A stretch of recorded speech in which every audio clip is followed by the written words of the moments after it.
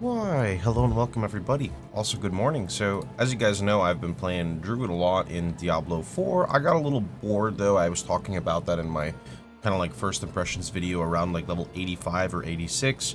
Um, just because really the only thing left for me to do was grind to 100, but it didn't really feel like there was any desire to grind due to the gear not really changing, right? Uh, of course, there is like a nice uh, Uber boss to fight Uber Lilith. I threw my face at her 20 times. I hit Resurrect more than 20 times. Definitely an interesting fight. Not something I want to do on a Druid, though. I think I'd want to do it on something that feels a bit cleaner, specifically for one-on-one -on -one encounters, maybe like a Rogue or a Barbarian. Uh, regardless, though, I decided I wanted to give a shot at Hardcore, since a lot of people know me for previously playing Hardcore in a lot of games, and now that I have a nice amount of knowledge um, on how itemization works on your gear, you know, how your skill tree, I mean, everyone kind of knows how the skill tree works, but, you know, just now that I feel a bit more confident or a lot more confident, I want to give hardcore a run. And let me explain why before I jump into it. Uh, for me, honestly, one of the most enjoying parts about Diablo 4 is exploring the open world, which I know is repetitive a lot, right? In the next season, actually, in fact, we're going to have the map fully explored if we already did it. But just for now, since there is limited endgame, exploring the world, even doing some side quests doesn't really feel that bad for me. I kind of do the side quests because I don't have a campaign right now, and it's just a little bit different from spamming dungeons. Again, not something I want to do forever. It's just a nice, it like in between right now, right?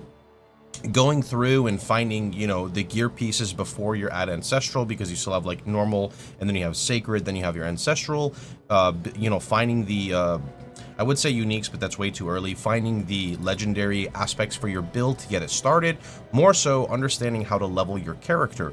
A lot of people always, I see people asking for leveling guides in Diablo 4, and at least for Druid, I mean, you can have an outline for a leveling build, but ultimately based off of what drops is how you're going to level. So prime example, uh, right now on my druid, I'm he heavily spec into Poison Creeper. So I've got like five points in Poison Creeper uh, with points in Call of the Wild as well. So primarily it's like defensive. So I've got Bulwark for defense. So that gives me a big bubble, also a CC break. I've got Debilitating Roar, which also reduces damage, heals me, and fortifies. Trample is another form of CC break, but also one of my first legendaries was Trample summon 6 Landslide Pillars during its duration that deal damage. So immediately, I was originally Pulverize. All I did was pull the points out of Pulverize, go into Landslide, and now I have a nice single target boost to my build. So that was kind of cool, right? Very happy with how this character is scaling. Really fast, I need to actually just put a quick point into something. I'm not really sure. Let's just put a point here, sure. Because I want to grab Ursine Strength, I think. Gain 20% maximum life when in werebear form and for 3 seconds after leaving werebear form. While healthy, deal 30% increased damage. See, like, the while healthy 30% increased damage sounds kind of nuts. I wonder if it actually scales the tooltip. Let's see. 2506. 3259. Oh man, dude, Poison Creeper is going to slap. So just to give you guys a quick example of what I've been doing, kind of exploring regions one at a time. So like I fully explored Kyovashad here, uh, then I'm going to work my way in Scosglen and then kind of work down into the other areas. And then whenever I feel like it, I'm going to go on my mount and go and basically uh, collect every single altar. I think the, the Lilith altars are important once you hit Paragon prior to that, I don't think they're as important, but obviously they're still good, right? So let me go ahead and just zoom out through here and show you guys what it's like to uh, solo level a druid. It's honestly been a lot of fun. Another reason why I wanted to do this is I have so many people complaining about druid leveling, right? I, I overhear things from all over the spectrum of it's garbage. It doesn't do any damage. I can't kill anything. Uh, thing. I'm squishy. I'm super slow. In regards to slow, I can completely understand because your entire your entire ability to zoom is based off of your gear, right? Like, do you have movement speed on your boots? Do you have movement speed on your amulet? That's all you really got, right? There's not really much else other than, you know, uh, movement speed after you have sprinted and etc. But that's all just, you know, there from uh, from gear, really.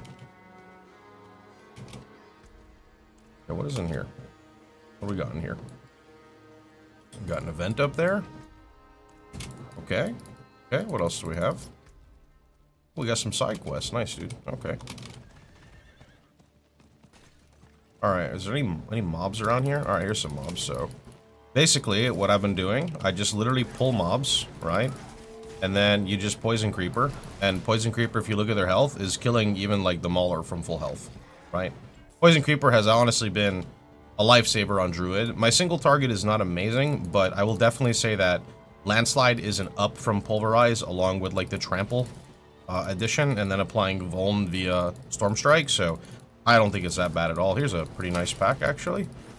Yeah, okay, very nice. Good, good. And Poison Creeper. Oop, why did that not go off? There we go. And you can actually watch the XP start to tick up from Poison Creeper. It's so good. It's obnoxious, to be honest. Anyway, that's pretty much about it. So if you guys want to check out the Druid leveling, I'll be leveling this character live on stream. I don't really play too much off stream, so we'll be playing it today. Then we take a break on Sunday, and we'll be back all next week pretty much playing Diablo 4. So hope you guys enjoyed the video.